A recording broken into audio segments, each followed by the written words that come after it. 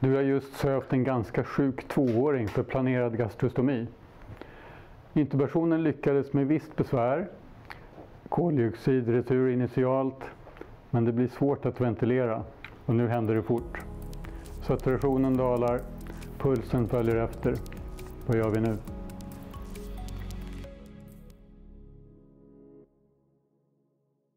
Jag är Peter Frykholm. Jag ska berätta om hur Sveriges nya rekommendationer för svår luftväg hos barn kan hjälpa dig att hålla huvudet kallt och snabbt göra rätt saker. För det är inte alltid så lätt, även om man har körkort som man är sociolog. Många som inte söver barn till vardags känner sig obekväma när de ställs inför ett litet barn akut. Och visst, det finns problem. Hög metabolism, låg FRC, desaturerar snabbt. Jobbigt. Spädbarn har mjuk bröstkorg och utvecklar därför snabbt atelektas under apné.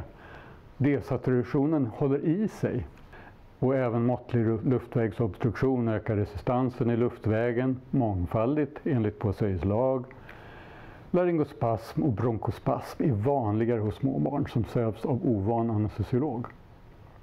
Sen är det svår venaccess som kan komplicera saken ytterligare och vi vet att luftvägsobstruktion kan leda till hjärtstopp.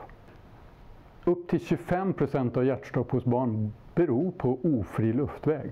Känns det jobbigt så blir det jobbigt. Men små barn är fantastiska. Det fina med dem är att de väldigt sällan har en äkta svår luftväg. Så söv lugnt och fint. Oftast beror svår maskventilation eller intubation på funktionella problem, det vill säga inadekvat narkosdjup och brist på relaxering. Ja, vilka barn får respiratoriska komplikationer? I en del fall är vi förvarnade. Den här lilla knodden ska vi återkomma till. På min arbetsplats har vi många som är under utbildning på olika nivåer. Och vi har börjat få igång ett fungerande komplikationsregistreringssystem. Och vad finner vi där?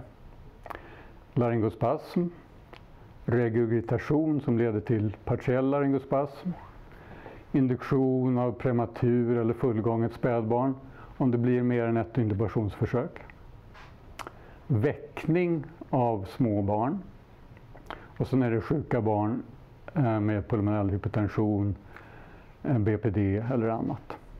Och enstaka fall av bronkospasm. Det här det är en karta över eh, spädbarnsdödligheten i Europa. Ganska stora skillnader. Det är tio gånger så hög spädbarnsdödlighet i vissa länder jämfört med Skandinavien. Men vi ska titta på respiratoriska komplikationer till barnanestesi. Apricot heter en studie som kom för några år sedan. 261 sjukhus i 33 länder registrerade alla barnanestesier under två veckors period. Det blev 31 000 anestesier och det ger en samlad bild av komplikationer vid barnanestesi. Förutom alla andra slags komplikationer så fann man ungefär 3,1% critical respiratory events. Och det var framförallt laryngospasm, bronkospasm och postoperativ stridor. Riskfaktorer var övre luftvägsinfektion, sömnapnésyndrom, passiv rökning och över två intubationsförsök. Samt en mindre erfaren anestesiolog. Ja, hur vanligt var det då med svår intubation eller larensmask? First the good news. 99,5% first pass success med larensmask. Så när det är svårt att ventilera, ta fram en larensmask. Det funkar på patienter i alla storlekar. Förekomsten av svår intubation var tio gånger högre hos barn under ett år än hos äldre barn. 1% hos spädbarnen och bara 0,1% för de äldre. Och det var inte ett enda fall av cannot intubate, cannot oxygenate. Jättebra. Vad är då kärnan i apricot? Vad kan vi lära oss? När du söver barn med respiratoriska komorbiditeter, var på din vakt. Men det blir bättre med åren. Äldre barn har färre komplikationer och för varje år som barnanestesiolog så minskar risken för komplikationer med 1% Det är glädjande. Men behöver du mer än två intubationsförsök, tänk till. för nu börjar risken för komplikationer öka. Men vad kan vi göra? Kalla på hjälp tidigt. Använd adekvat anestesidjup och muskelblockad. I Apricot var det 39% där man intuberade utan muskelrelaxantia och fick problem.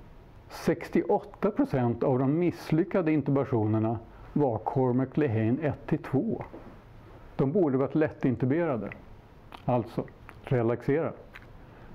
38 fall hade äkta svår intubation bland de här 31 000. Apricot säger också att videolaryngoskopi inte riktigt har slagit igenom i det barnanestesiologiska Europa. Vi säger använd videolaryngoskopi primärt, speciellt om du är ovan och alltid vid RSI eller när du ska söva ett sjukt barn. Optimera förutsättningarna och använd laringsmask tidigt vid ventilations eller intubationsproblem. I höst så blir det mera frukt på trädet när resultaten från Nektarin kommer.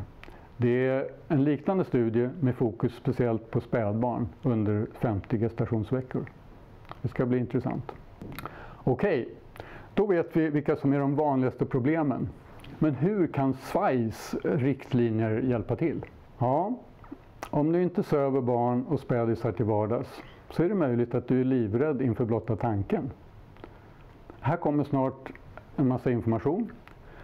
Men kom ihåg, med två verktyg i bagaget så behöver det inte bli så jobbigt när det där barnet dyker upp mitt i natten på jouren. Nummer ett, att du är hemma i Sveriges algoritm och att du ser till att ha rätt storlek av larynxmask och videolaryngoskop i, i närheten.